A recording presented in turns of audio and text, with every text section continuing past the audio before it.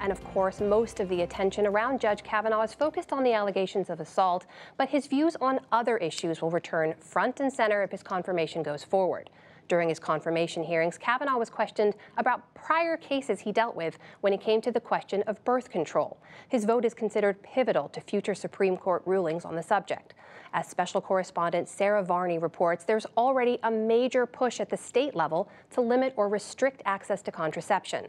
Some conservatives are now hoping to take it further at the federal level, with the Supreme Court more amenable to their views. This story was produced in collaboration with our partner, Kaiser Health News.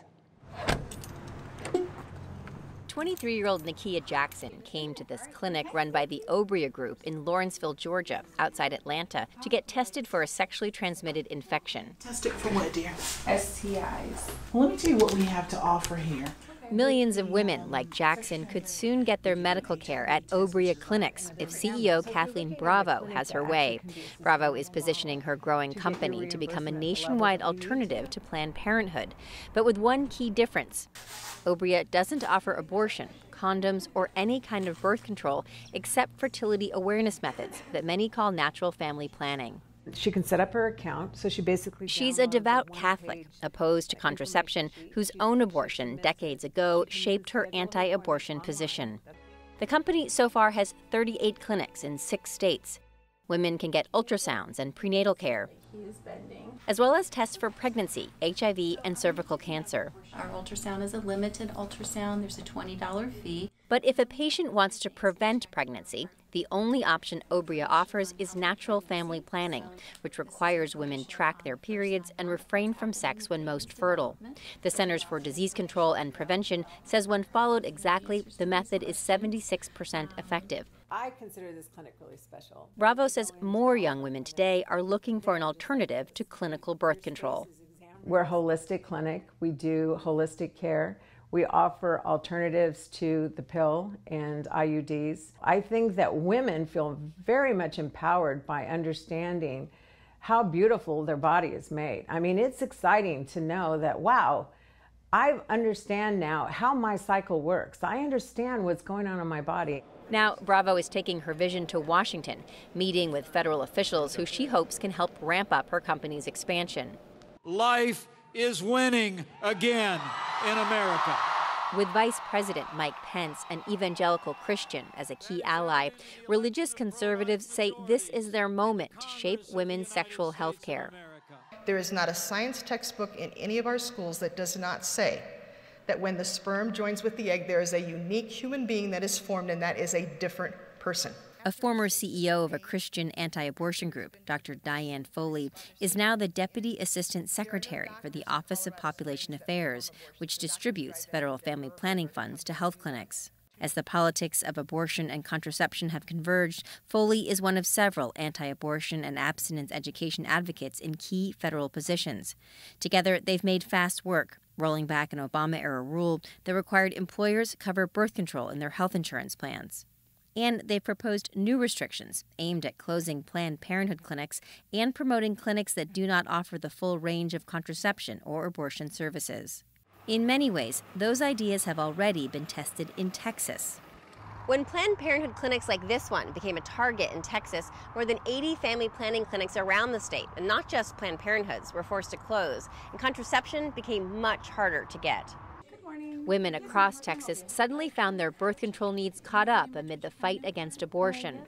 The state of Texas cut uh, the family planning program, really slashed it, and, uh, and changed a lot of rules. And those rules led to clinic closures. Like this center right here used to be the site of one of our part time clinics. Catherine Hearn of Access Esperanza says after Texas lawmakers slashed state funding by 66% in 2011, four of her organization's eight sites closed, even though they never offered abortion care.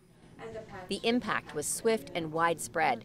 Researchers found the number of women on the most effective forms of birth control, IUDs, implants, and injections, plunged by a third.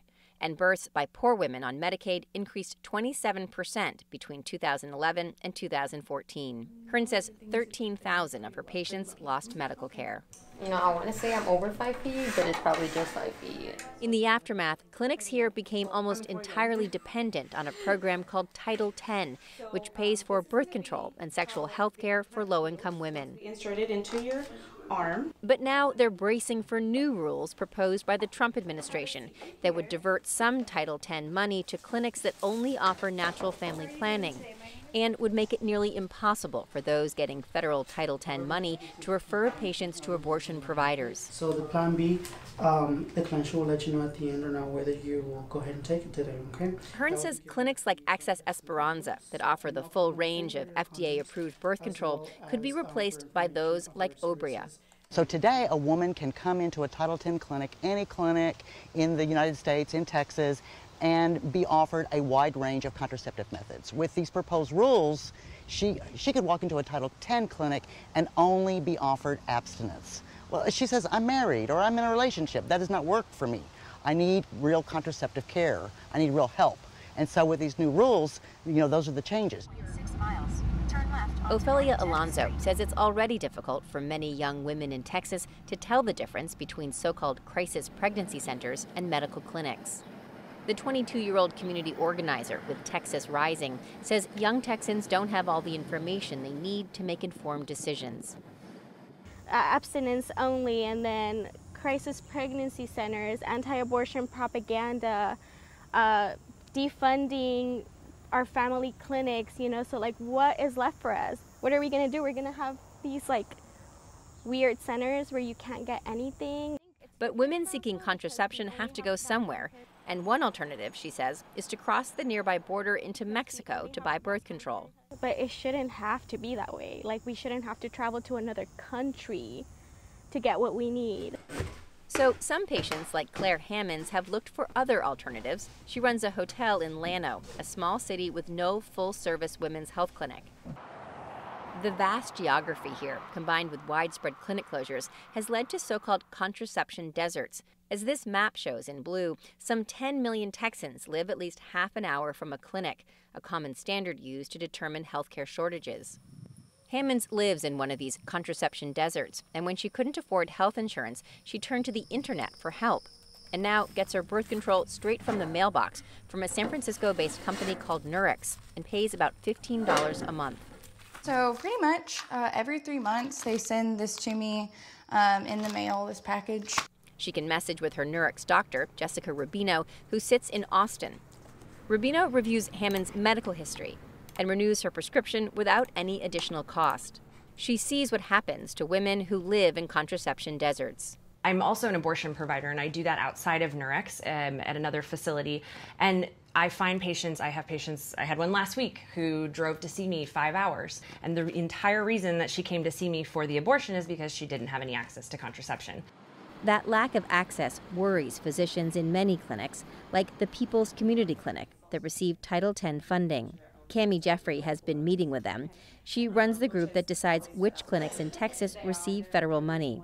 She says if the Trump administration's overhaul of Title X succeeds, it will undermine the goal of the program that the federal government has operated since the 1970s. So we know that every dollar we spend on Title X saves $7 across other government programs, including Medicaid. We avert Medicaid births very frequently um, by contracepting clients um, and preventing unplanned pregnancies. But back in suburban Atlanta at the Obria Medical Clinic, Kathleen Bravo says it's time for companies like hers to put a bigger mark on reproductive health care. And the company is launching a $240 million capital campaign to open more clinics. If Obria is a comprehensive primary care clinic for women that is an alternative model to Planned Parenthood, that we have a choice, we're in. We're all for it. Uh, I have an appointment. But exactly what comprehensive means and the care women can receive at Title X clinics will likely be decided by the Trump administration in the coming months.